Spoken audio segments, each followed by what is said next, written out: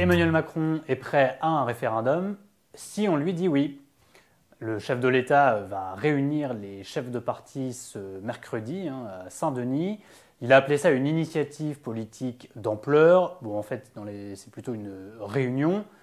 Ce qui serait une vraie initiative politique d'ampleur en réalité, c'est de faire un référendum, donner la parole au peuple sur une question précise pour la première fois depuis 2005 et le nom au traité constitutionnel européen.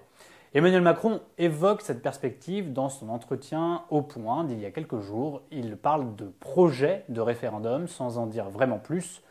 Mais attention, ce n'est pas la première fois qu'il évoque cette perspective, loin de là. Depuis le début de son quinquennat, ça revient régulièrement sans que rien ne se passe. Regardez, dès son entretien du 14 juillet 2022, il en parlait à la télévision.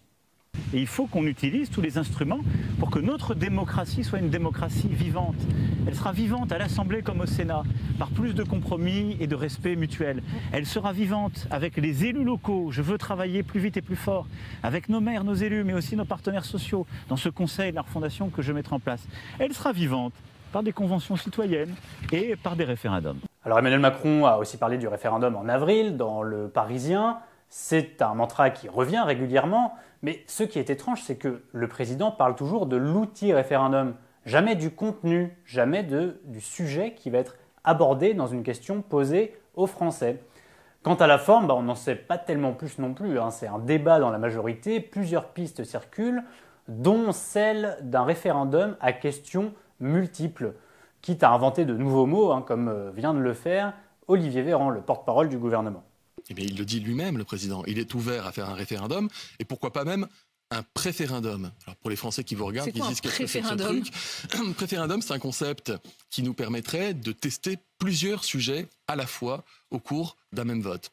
Alors il faut ici un petit point de droit constitutionnel. Un référendum en France doit obligatoirement être adossé à un projet de loi, soit un projet de loi économique et social, soit à une révision de la Constitution. Ce n'est donc pas juste une question qui est posée, on demande au peuple son avis sur un texte précis.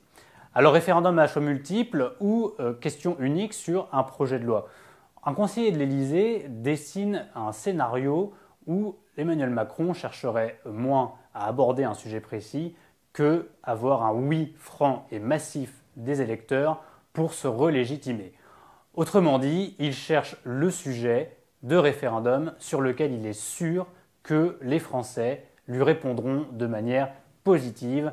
Ce serait un moyen de contrebalancer le manque de légitimité induit par la majorité relative issue des élections législatives de l'année dernière et qui perturbe son gouvernement puisque chaque texte doit se négocier pied à pied avec le Parlement.